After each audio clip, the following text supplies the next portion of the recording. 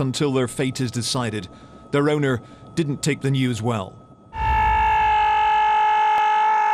gentleman by the name of John Christopher Depp, uh, 51 years old, um, otherwise AKA Jack Sparrow, and he has decided to bring into our nation two dogs without actually getting the proper certification.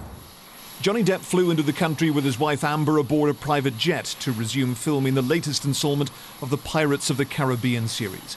They brought their Yorkshire Terriers, but Australia requires pets to be quarantined and have the necessary permit.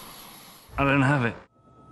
They may have escaped undetected, but a member of Depp's entourage took them to be groomed, and the owner of Happy Dogs posted a proud picture. Basically, looks like he snuck them in. If we start letting movie stars, even though they've been the sexiest man alive twice, to come into our nation, then why don't we just break the laws for everybody? Uh, so uh, it's time that Pistol and Boo buggered off back to the United States. Ah. He's loved his moment in the sun, hasn't oh, he? that- Barnaby great- Joyce, the that minister. great Australian